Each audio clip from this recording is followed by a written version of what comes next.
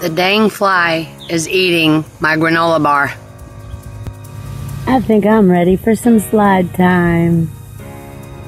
I'm afraid the coyotes are going to eat Robert. Before our eyes.